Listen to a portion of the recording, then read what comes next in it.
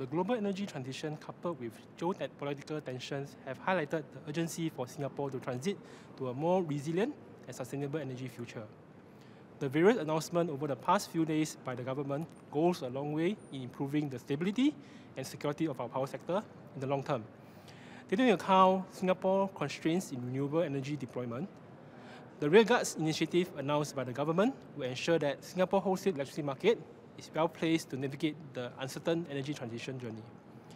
The Energy Market Company, with our close relations with the Energy Market Authority and industry, will support the consultation and eventual implementation of the changes from 2023.